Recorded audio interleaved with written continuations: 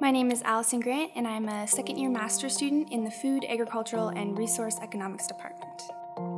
I'm working with Dr. Brady Deaton, and we're looking at the impact of aggregate sites on surrounding property values in Wellington County. And I can say specifically why my research affects not only Wellington County, but can be applied in other areas. And so when people ask me, What do you do for research? I can respond with, Well, I do a lot of math on a day to day basis, but this is how it can help our understanding of the natural world.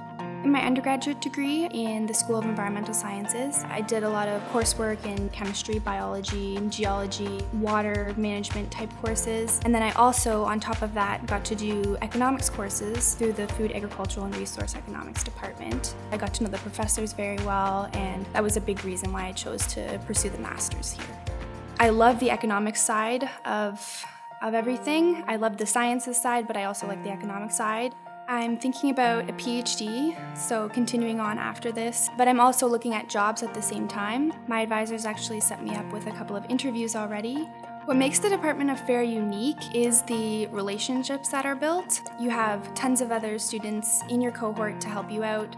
The professors are very hands on, they want to know that you're doing well. I'm very close with my professors. We do more than just talk about work that we're working on. I'm a runner, the department head's a runner, we talk about that a lot.